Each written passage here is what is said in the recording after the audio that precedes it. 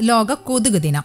കൊതുക് സംരക്ഷണത്തിനായല്ല കൊതുകുകൾ ഉണ്ടാക്കുന്ന അപകടങ്ങളെക്കുറിച്ച് ബോധവാന്മാരാകുന്നതിനു വേണ്ടിയാണ് ഇങ്ങനെയൊരു ദിനം.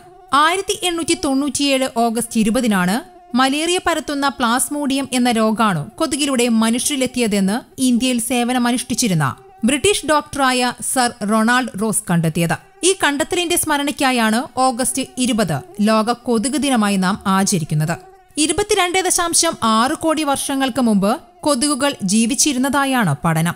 മൂവായിരത്തി അഞ്ഞൂറ് വർഗം കൊതുകുകളുണ്ടെന്നാണ് പഠനങ്ങൾ വ്യക്തമാക്കുന്നത്. ഇതിൽ നൂറിനം പെൺകൊതുകുകൾ മാത്രമാണ് രക്തം കുടിക്കുകയും രോഗം പരുത്തുകയും ചെയ്യുന്നത്. ബാക്കിയുള്ളവ തേനും ചെടികളിലെ നീരുമൊക്കെ കുടിച്ച് ജീവിക്കുന്നവയാണ്. ഇങ്ങനെയൊരു ദിനം എങ്ങനെയുണ്ടായി എന്ന് വിശദമായി നോക്കാം. ആയിരത്തി എണ്ണൂറ്റി തൊണ്ണൂറ്റിയേഴ് ഓഗസ്റ്റ് ഇരുപതിനാണ് ഡോക്ടർ റൊണാൾഡ് റോസ് കൊതുകുകളാണ് മലേറിയ പരത്തുന്നതെന്ന് കണ്ടെത്തിയത്.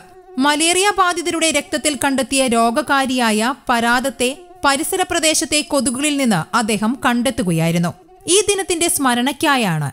എല്ലാ വർഷവും ലോകാരോഗ്യ സംഘടനയുടെ നേതൃത്വത്തിൽ ഓഗസ്റ്റ് ഇരുപതിന് ലോക കൊതുക് ദിനമായി ആചരിക്കുന്നത്. അദ്ദേഹത്തിന്റെ സംഭാവനകൾ പരിഗണിച്ച് ആയിരത്തി തൊള്ളായിരത്തി രണ്ടിൽ റോസിന് നൊബൽ സമ്മാനവും ലഭിച്ചിരുന്നു. ഈ കോവിഡ് കാലത്ത് കൊതുക് മൂലമുള്ള രോഗങ്ങളിൽ നിന്ന് രക്ഷ നേടാൻ എല്ലാവരും മുൻകരുതൽ സ്വീകരിച്ച് ആരോഗ്യവാന്മാരായി ഇരിക്കാൻ ശ്രദ്ധിക്കണം. News desk Kaumudi T